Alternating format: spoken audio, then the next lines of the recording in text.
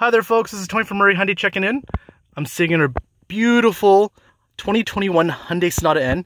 Yes, the fast one with all 300 plus horsepower.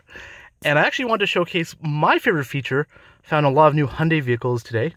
Um, and that is actually your adaptive, or we call it smart cruise control. And if you're wondering what that is, on a lot of modern Hyundais, what it does is that not only do you have cruise control, like you would normally expect, but when you turn your cruise control on, just by pressing the button here and then pulling the little lever down, you can actually set how much space you keep between you and the car in front of you.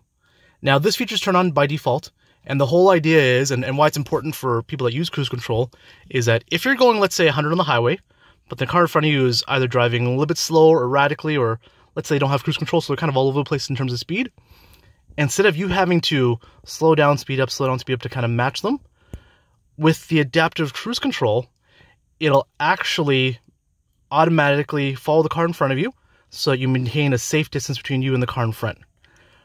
What's nice about this little button here is not only is it always going to keep you a safe distance from the car in front of you and potentially, you know, stop you or slow you down in the case the car in front of you stops for an unexpected reason, like they hit a deer or hit a flat tire, but you can actually set how much space you keep between you and the car in front of you.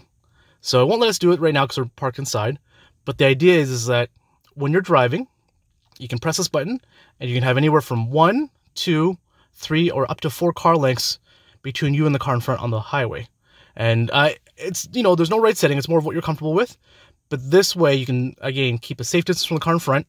And again, you set your cruise control. The car will try and maintain that 100, 110, whatever speed you set on the highway.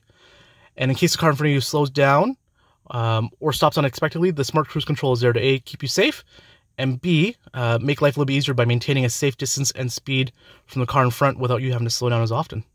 Uh, again, uh, this is Tony from Murray Hyundai signing out. I want to say thank you again. Have a wonderful day.